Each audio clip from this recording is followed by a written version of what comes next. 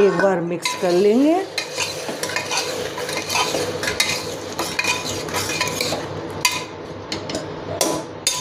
और अब इसमें मैं डालूँगी पाव भाजी मसाला। ये चार जनों के कितने जनों के हिसाब से? अभी तो अकॉर्डिंग है मैं तो दो जनों के हिसाब से बना रही हूँ। तो दो टेबल स्पून पाव भाजी मसाला डाल देंगे और- हाय दोस्तों, आप सभी का स्वागत है हमारे चैनल पर। तो आज हम बनाएँगे पाव भाजी मसाला। तो चलिए देखते हैं हम किस तरह से बनाते हैं। तो सबसे पहले हम साबुत धनिया लेंगे। तो मैं वन फोर्थ कप साबुत धनिया ले रही हूँ।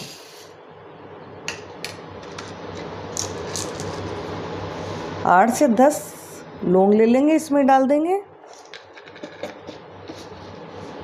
ये मैं टेबल स्पून ले रही हूँ। तो दो टेबल स्पून जीरा डाल देंगे। डेढ़ टेबल स्पून सौंप।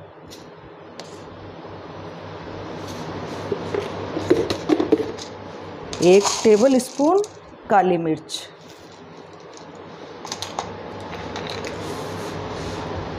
चार से पाँच हम बड़ी इलायची ले लेंगे। अगर बड़ी है आपके पास, मोटी है तो पाँच ले लें। मेरी थोड़ी कुछ छोटी है, इसलिए मैं छः ले रही हूँ। अब इन्हें हमें ड्राई रोस्ट करना है। गैस पे रख देंगे, एक दालचीनी का टुकड़ा लेंगे।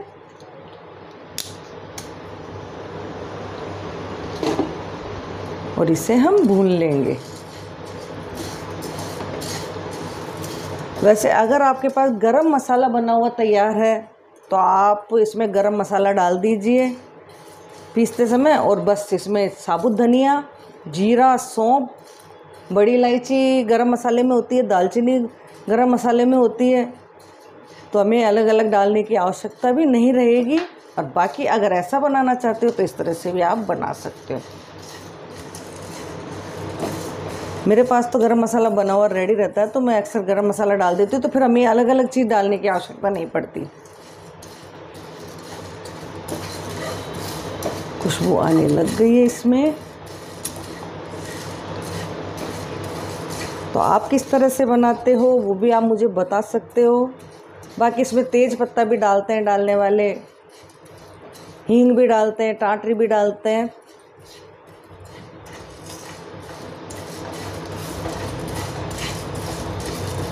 अब इस समय मैं डाल दूँगी इसमें लाल मिर्ची।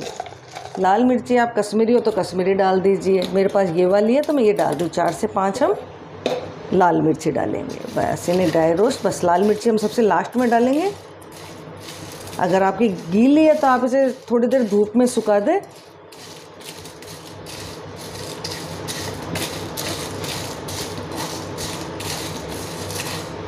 तो पूरा हम एक टेक बता देते हैं ताकि आपका भी पाव भाजी मसाला टेस्टी बने। बस पाँच मिनट टोटल इसे हमें रोस्ट करने में लगेगा, ज़्यादा समय नहीं लगेगा। देखिए इसमें चिट चिट की आवाज़ आने लग गई है।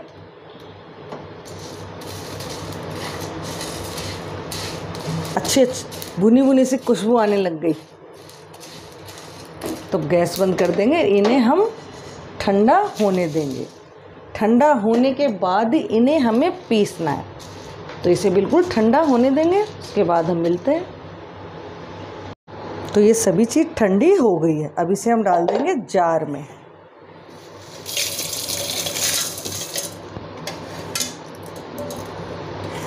और अब इसमें हम डालेंगे पिसे हुए मसाले। तो मैं इसमें डाल रही हूँ काला नमक।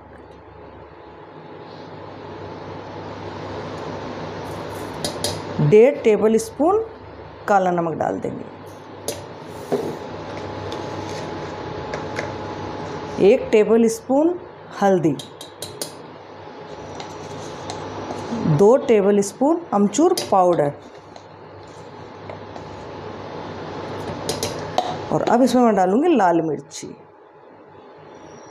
दो चम्मच हम लाल मिर्ची डाल देंगे। और बस इन सबको हम पीस लेंगे।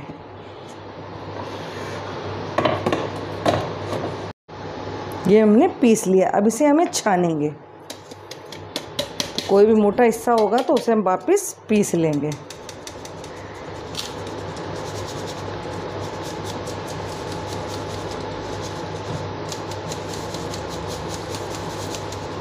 तो इसे हम एक बार और पीस लेते हैं।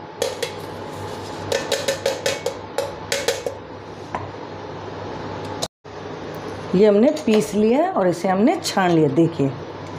अब हम भाजी तैयार करते हैं। तो भाजी बनाने के लिए मैंने ये सब्ज़ियाँ लिए मैं बीट रूट को स्टोर करके रखती हूँ। गर्मियों के मौसम में गाजर नहीं आती तो हम बीट रूट डाल देते हैं। इससे कलर भी आ जाता है और टेस्ट में कोई फ़र्क नहीं पड़ता। तो मैंने इसमें गाज गाजर नहीं ली, घिया लिए लौकी लिए आलू, प्याज, टमाटर, लहसुन, मटर मेरे फ्रोजन है।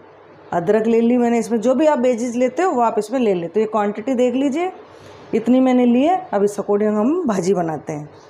तो भाजी बनाने के लिए हम बटर डाल देंगे। आप तेल में भी बना सकते हो बटर में भी बना सकते हो। तो मैं बटर डाल रही हूँ। बिल्कुल इस मसाले को भाजी में कैसे यूज़ लेना है वो, वो बताएँगे। थोड़ा सा तेल डाल देंगे ताकि भाजी जले नहीं। पूरा भाजी वो, बटर- तो नहीं बता रहे डिटेल में। डिटेल में अलग से बताएँगे।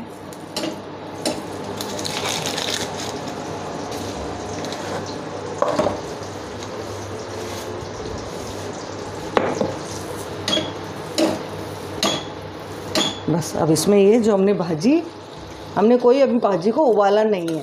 भाजी को डाल देंगे।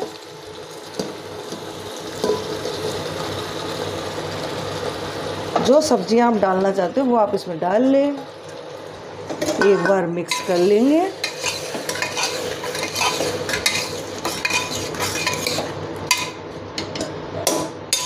और अब इसमें मैं डालूँगी पाव भाजी मसाला। ये चार जनों के कितने जनों के हिसाब से? अभी तो अकॉर्डिंग है मैं तो दो जनों के हिसाब से बना रही हूँ। तो दो टेबल स्पून पाव भाजी मसाला डाल देंगे। और थोड़ा सा हम इसमें डाल देंगे नमक।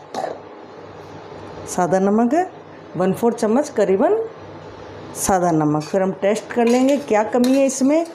वो ही चीज़ हम बाद में इसमें डालेंगे। देखते हैं भाजी कैसी बनती है। अब इसमें डाल देंगे पानी।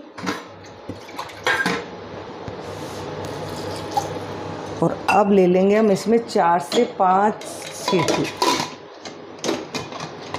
तो ये हमारी भाजी बन के रेडी हो गई है और ये हमारा पाव भाजी मसाला नमक आप सोच के ही डालें, क्योंकि हमने नमक इसमें डाल दिया है। जो हमने इसमें नमक डाला है, वो बिल्कुल सही है। मैंने टेस्ट करके देख ली, बस मुझे अगर आप स्पाइसी खाते हो तो इसमें बस थोड़ी सी लाल मिर्ची डालने की आवश्यकता है आपको। अगर आप स्पाइसी नहीं खाते हो नॉर्मल खाना चाहते हो तो वो बिल्कुल एक्यूरेसी है।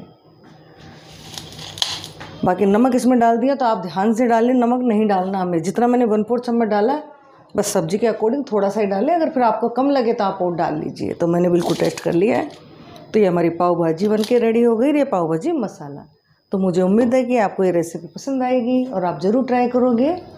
तो मिलते हैं नेक्स्ट रेसिपी में। Bye bye